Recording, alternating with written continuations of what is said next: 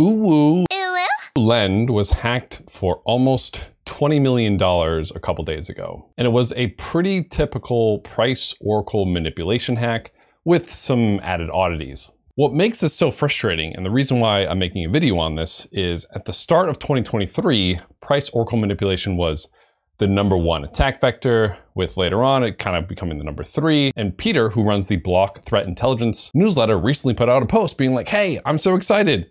Reentrancies are no longer in the top 10. Price oracle and reward manipulation doesn't cause many losses. We are making progress as an industry. And the reason he's excited that these aren't in the top 10 is because these are, I don't want to say easily avoidable, but they're one of the easier attack vectors to avoid. So the reason I wanted to make this video was to show you what happened and show you how these people who spot these hacks understand how to spot them and then tell you exactly what happened, how this happened, and importantly, what can we learn from this? Because what can we learn from this hack so that we as a security industry can be better?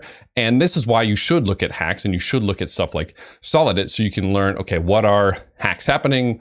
What are people reporting so that we as an industry can get better at understanding these attacks? And the really frustrating thing about this is that we as an industry, I don't think actually learn that much. And that really sucks to say. So at the end of this video, I'm going to have both tips for you as developers and security researchers to make sure your protocols are better, but also, surprisingly enough, some tips for investors looking to degen into some of these protocols.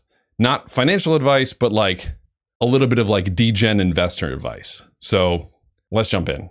But I do want to make a disclaimer, of course, hindsight is always 2020. We don't know the processes necessarily that led up to this, so we shouldn't be shaming these protocols. But we always want to say, what can we learn from this? Now, like I said, Lend was hacked for $20 million. And the root cause of this was, as we were saying, an Oracle manipulation attack. And I'll show you what it actually looked like and how kind of egregious this attack was in a minute. What I thought was really cool was one of the students who recently took the Cyfrin Updraft security auditing course said, hey, uh, looking at the exploit, it looks like Lend just got thunderloaned. And in the Cyfrin Updraft curriculum, we have a course called Thunderloan, which teaches basically exactly what happened here.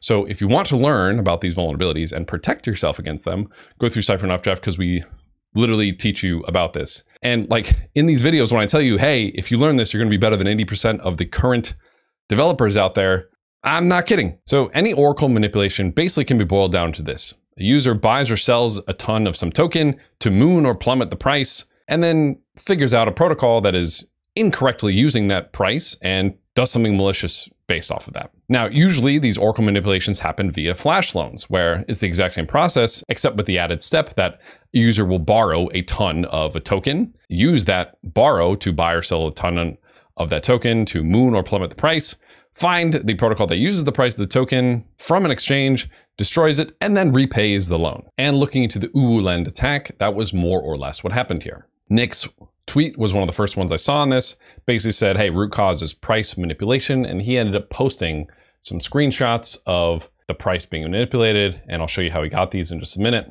But the token that was being manipulated was SUSDE. The borrowing price was 99 cents and the liquidating price was $1.03. So let's dig into how that actually happened by looking at one of the attack transactions. I'm here on openchain.xyz. This is a transaction visualizer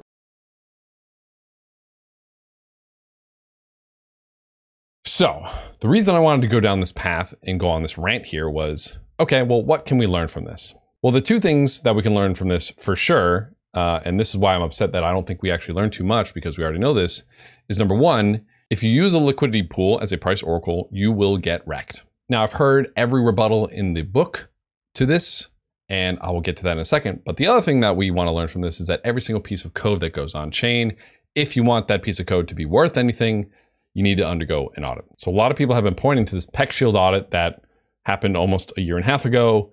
This specific code base was not in scope of this audit. For me, it's a little bit hard to even read the audit report and even know what was in scope. But at least that contract that I just showed you guys, which had the root cause, was not in scope. Uh, so I went through this code base and I said, ah, this is rough. This is not good. They're using liquidity pools as an oracle.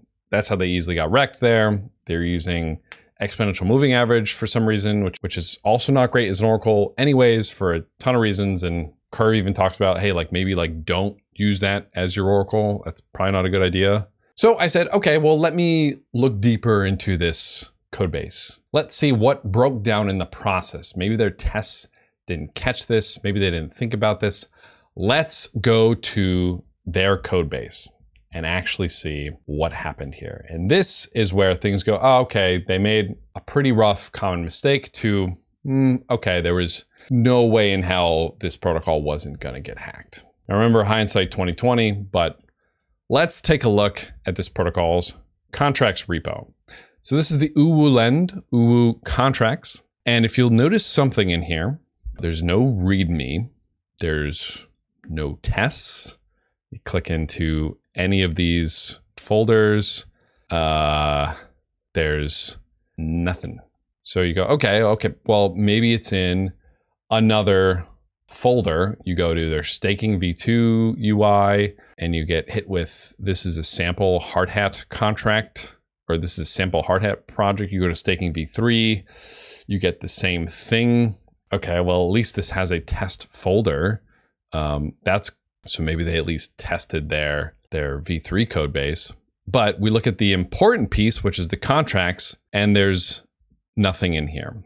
Additionally, what you won't find is that vulnerable contract that we just walked through that had the actual bug in it. So either they just deployed it directly to prod without doing any tests on it, or they did it behind closed doors. Now, I'll say that every single project I've ever worked with that says, hey, yeah, we did those tests behind closed doors, they either lied uh, and they didn't do shit, or their tests are so bad and so worthless. That's the real reason they didn't push them up because they didn't want uh, people to see that they didn't really test anything and they didn't really care to test anything. So this is where this code base becomes a little bit more egregious to me because they said, hey, we forked Aave.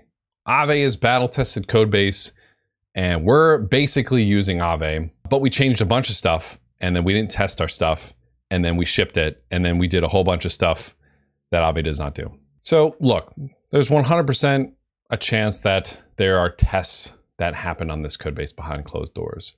However, I doubt it. If you go to their documentation, they have this section called Is There Any Risk? And it says, hey, the potential risks are smart contract risks, a bug within the protocol code, and liquidation risk. Every possible step has been taken to minimize the risks as much as possible. The protocol code has been forked from Aave v2's battle tested open source code, and it has been audited. Any changes in code and or features are tested and audited before release. Uh, well, if that was the case, I don't see those. Additionally, there have been no exploits or security issues since launching in 2022, except for when they added new code that was not audited and probably unlikely tested. To me, this being your GitHub as a protocol is unacceptable. And I'm sorry I'm calling them out for this. This turned out to be a little bit angrier of a video than I wanted to be, but this cannot and must not be what your project looks like. The dev learnings from this and security learnings from this, I think are pretty simple. It's a continuation of the exact same thing. Do not use liquidity pools as pricing oracles. Now, let me get to the pushback that's going to happen because guess what? You as a developer or security researcher are going to be put in a place where you go, ah, I remember Patrick told me not to use liquidity pools as pricing oracles. However, the VC says to do it. We don't want to wait for a Chainlink price feed. We don't have money to pay for oracles. Let's get to all the pushbacks. So number one, we have tests. They are just not public and or proprietary. Like I said, everyone who's told me this is full of shit. If you have tests, just show them. Like I promise you, you're not doing anything proprietary in your tests. And this actually leads me to the first piece of alpha for investors out there. If you see a code base that looks like this and has no tests, has no README, they say, hey, I promise you we're good, don't trust them because I highly doubt it. The second piece of pushback hey, there was no Chainlink price feed for the token that I want. Too bad. Don't use it. You will get hacked. But they say, oh, but my protocol relies on the price of my token. So we're going to use the Uniswap pools or the Curve pools to do this. Well, guess what? Your 50 million, 80 million, 100 million dollar market cap token has no price. What do you mean, Patrick? You just said it's a $20 million market cap. What are you talking about? Clearly there's a market cap. FTX, okay? If a whale just holds 99.9% of your token, holds it at like $20 million market cap or whatever, it's very easy for a whale to come in and manipulate it.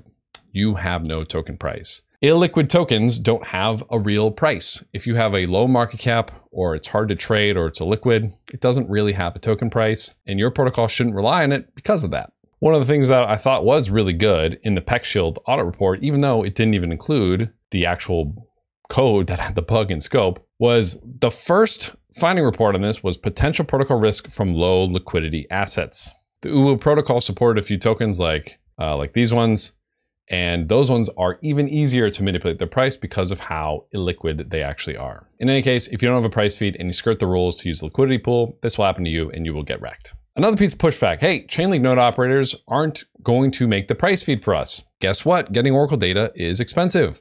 They have to send a lot of transactions. They have to pay for a lot of data. So if you're not willing to sponsor the price feed, I don't know what to tell you. If anything, this is good for you because they're going to help prevent you from getting hacked. So if you don't want to pay for a price feed, in a sense, that's great because then you will prevent your users from getting rug pulled like this. And that's usually the biggest piece of pushback that I get is, hey, there is no price feed, so I have to do this. Well, I'm going to say, hey, there's probably a reason there's no price feed or you should ask for it and or sponsor it. It's expensive. It's expensive to get this shit right. I don't know what to tell you. So I know I talked a lot and I know I was a little bit more angsty than normally am. Just to reiterate, takeaways here. Using liquidity pools as price oracles and you will get wrecked. If you want to learn more about how you will get wrecked, be sure to take the Cyfrin Updraft Security and Auditing curriculum because we go over this very issue. Number two, every piece of code that goes on chain needs an audit if you want it to be worth anything.